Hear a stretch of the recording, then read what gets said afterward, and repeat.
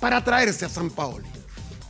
Comunicado a Edgardo Bausa, que deja de ser el técnico de la selección nacional. La agonía del patón Bausa terminó este lunes con el circo mediático que se estila en Argentina. Pero fue todo muy mal manejado, un desgaste innecesario para Patón Bausa. La AFA es el Pac-Man, se come técnicos. Sí, ¿eh? pero el despido más largo del mundo se acaba de concretar. Nueve meses de trabajo para el seleccionador que menos duró en la era moderna de la AFA, un técnico resistido, criticado y al final destituido.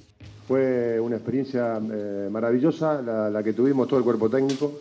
A mí me deja muy contento y vuelvo a repetir, estoy, seguro que Argentina va a llegar a, a- a jugar el Mundial. Un desenlace esperado que no es el final de esta historia. Despedido Bausa, ahora los dirigentes apuntan sus ojos y sus pretensiones a Europa, específicamente a España. Van a sondear a Simeone. Con otro nombre, que va a ser el de Jorge Sampaoli. Jorge Luis Sampaoli y Diego Pablo Simeone son los candidatos favoritos para vestirse de albiceleste, dos paradigmas de fútbol que encantan a los directivos de la AFA, quienes visitarán este jueves al técnico del Sevilla mientras realizan gestiones para tener pronto una reunión con el DT del Atlético de Madrid. No tengo ninguna constancia de, oficial de que AFA venga a hablar con nosotros por el entrenador.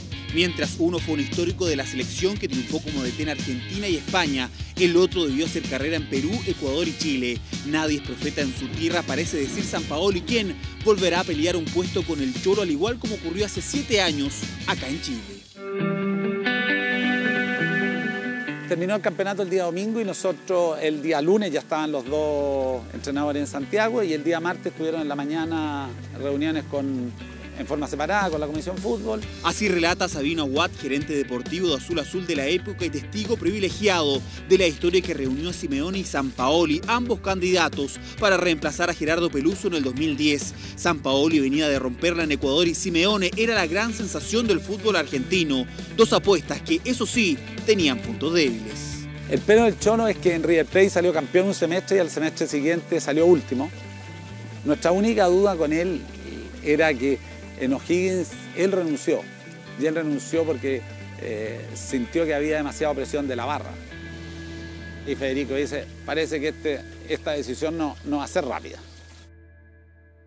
Una decisión difícil que al final decantó por la obsesión que aún marca el estilo Sampaoli y que tantas alegrías dejó en la U. Nosotros teníamos en ese momento más o menos 50 jugadores, porque había muchos contratos juveniles.